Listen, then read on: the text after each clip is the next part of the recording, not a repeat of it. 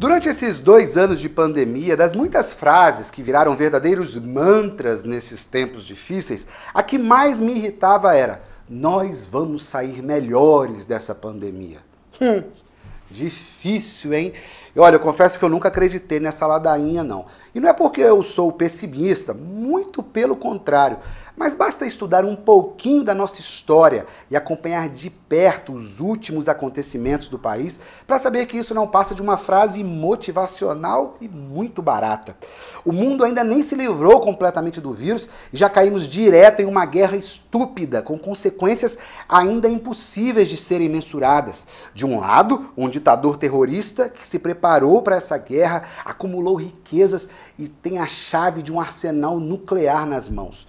Do outro, os países que criticam a invasão, mas sabem que do lado de lá tem um maluco que pode fazer um estrago de proporções nunca vistas na história. E a gente no meio, assistindo tudo isso.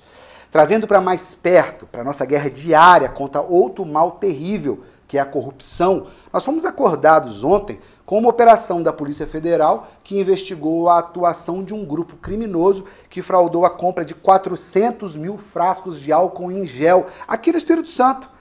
Nem o álcool em gel escapou. Na mesma época em que pessoas morriam em todas as partes por causa do coronavírus. E uma dessas vítimas foi o prefeito de Água Doce do Norte, Paulo Leite que pegou Covid e morreu depois de lutar por duas semanas no hospital. A morte do prefeito jogou luz sobre outro assunto tão bizarro quanto a história da compra superfaturada de álcool. O vice-prefeito da cidade, que fica aqui no noroeste do estado, morava nos Estados Unidos há dois anos. E nesse período, o salário dele continuou sendo pago pelos habitantes de Água Doce. Ontem, o Tribunal de Contas mandou ele devolver 104 mil reais que ele recebeu enquanto estava lá na terra do tio Sam.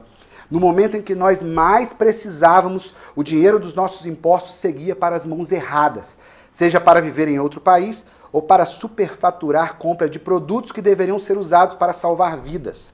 Mãos que devem estar tão sujas que nem todo esse estoque de álcool superfaturado aí é capaz de limpar. Até semana que vem.